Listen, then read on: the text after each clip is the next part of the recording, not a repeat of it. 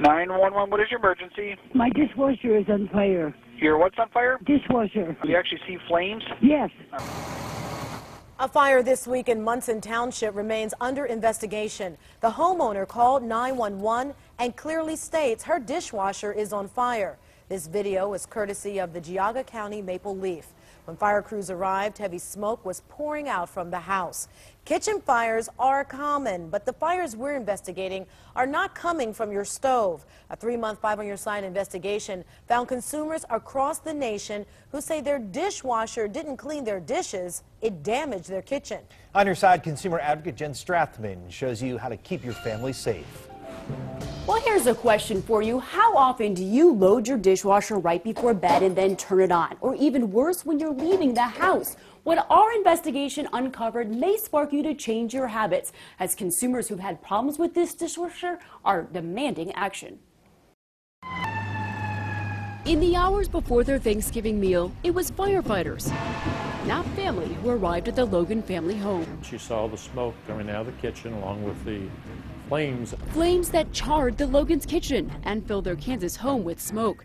The blackened pieces that remain leave little doubt in their minds as to where the fire started. No question it came from the dishwasher. And the Logans are not alone in their kitchen close call. The flame shooting out of the side of it looked uh, similar to what you would see from a, a benzene torch. This dishwasher went from working perfectly fine to a fire. And it blistered the ends of all my fingers. Just, it was that hot. It was that hot. Fire investigation reports we obtain don't zero in on a cause, but they do show a potential problem, with homeowners and some investigators blaming dishwasher fires for this damage, and even a death at this Oregon home.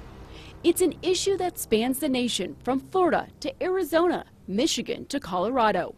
Our Five on Your Side investigation found fires in dishwashers in almost every state, including Ohio. There were some flames coming out over here. Worried for her children's safety, Kirsten Creation of Lakewood grabbed the kids. Her husband grabbed the fire extinguisher and quickly put out the flames. We thought we just, you know, had some bad luck and it was sort of a one in a million situation. But the federal government knows about these reported situations. Between March and November of 2011, more than 260 complaints related to dishwasher incidents were logged with saferproducts.gov. It's a public website run by the Consumer Product Safety Commission. Of those, more than half reported smoke or flames. Because it's so close to the gas line for the gas stove, um, that was really scary to us, just thinking the what ifs. While a few hundred potential disasters were made public in that online forum, our investigation uncovered that the CPSC knows of more than 1,600 reported problems with dishwashers in the last five years. Those complaints simply are not shared with the public unless you ask to see them. In 80% of those cases, consumers reported a fire. A representative came out to the home, interviewed me for a couple hours, asking me lots of questions. We have questions too about what brands are mentioned in those cases. The CPSC will not tell us until it gets permission from the companies involved. We've been waiting for six weeks, and while the government is not pointing fingers at any brand, consumers are. They're posting on blogs like KitchenAidFire.com. My own view is that this is a dangerous issue, a, a, serious safety and health concern.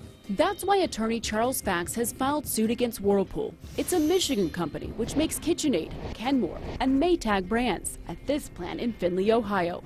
Fax represents 11 people who say they've had serious damage from fires in dishwashers made by Whirlpool. The company has until February 15th to respond to the lawsuit. Fax's clients not only want compensation, they want a recall because of what they consider a product flaw. This design defect in the control unit causes the wires inside to overheat and eventually burn.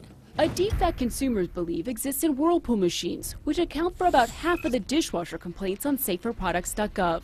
But consumers have reported fire and smoke in other brands too, including Frigidaire.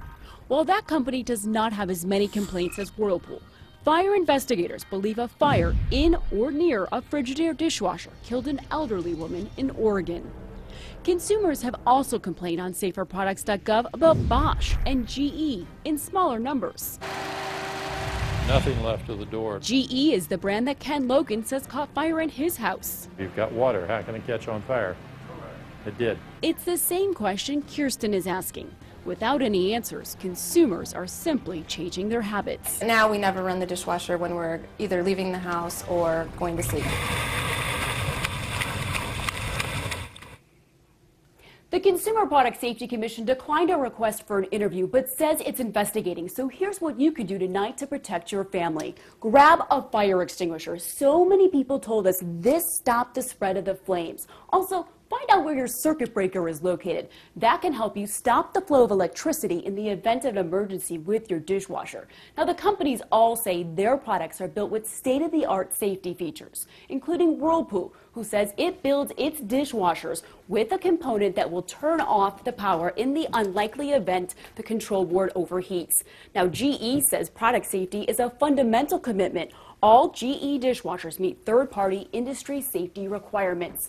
Now, go to Newsnet 5 tonight, newsnet5.com tonight. We have an interactive site where you can see the full company statements. You can even search the complaints by state, their city, or brand. Now, these are unverified complaints to the government, or you can see if your dishwasher was on an earlier recall list. And if you've had a problem, let me know about it. On your side, Jenn Strathman, News Channel 5.